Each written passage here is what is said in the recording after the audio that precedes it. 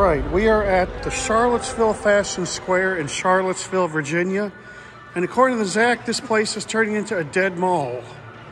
This used to be the Sears and Roebuck store. And we're going to do a quick walk through this mall and take a look at it. Here we go. You can see all sorts of empty storefronts here. They have one of my favorite games, which is Stacker, and I'm to have to talk to drown out the music. More empty stores. This entire wing of the mall is empty. So we will go down here and look at the other side. There is the photo booth, which is out of order. Uh, yeah, that ceiling is in very good shape. They have uh, stairs and a ramp.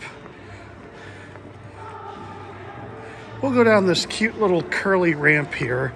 Look at this. We'll also look at a directory here in a minute.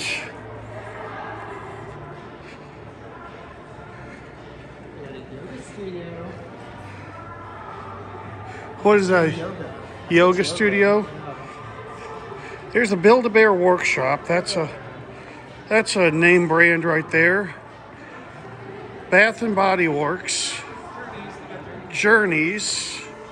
Uh, some interesting. All right, this is the main concourse of the mall up here where I believe this is the only anchor store left, isn't it? Uh, the Belk, yeah. Yeah. So this mall has like one anchor store left. Look at all It these used to be a Macy's.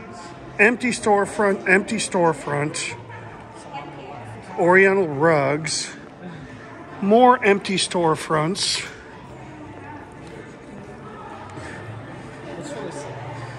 Come over there, there's the security console, and nobody's there. This is the Belk main department store. They have a New River coffee there. And over here is another Belk store, the Home and Children. You have a Kay Jewelers, you have a couple stores down there, but there's several empty storefronts there. There is a, They have two Belks, and there is a Lids store, another, that used to be a jewelry store. There's a Lids store, empty, empty, empty, empty, empty. Oh, this used to be a J. Crew. So that used to be a store. That used to be a right there with the shelves. Eddie Bauer is still here. Look at that. Spencer Gifts is still there. They got another one of these cute little ramps here. Look at this. This is so sad. It's gotten way worse. Torrid, empty store. Empty, empty, empty. No, those are two empty stores.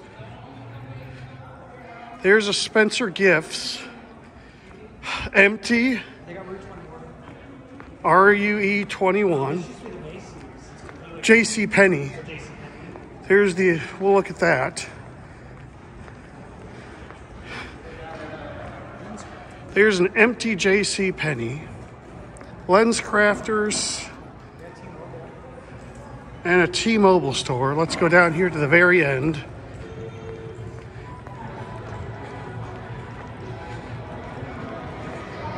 So yeah, it's taken us a whole five minutes to walk through this mall.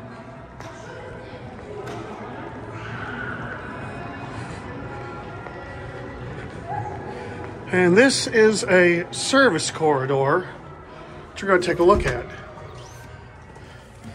All this does is go to an emergency exit. So this is a service corridor. So Zach, what do you think of the condition of this shopping center? It's gotten a lot worse.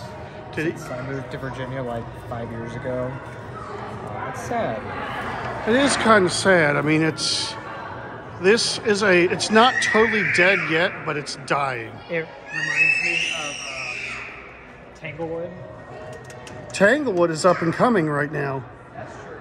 This mall, like losing a J.C. Penney. I remember when this used to be open. This used to be open. So yeah, this is a look at the Charlottesville Mall. That'll be it. A huge thank you to all of my patrons for your support of elevaTOURS. The video's over, but it doesn't have to be. You can always watch more, and you know what to do. And don't forget to subscribe and light up that bell. Until next time, bye y'all.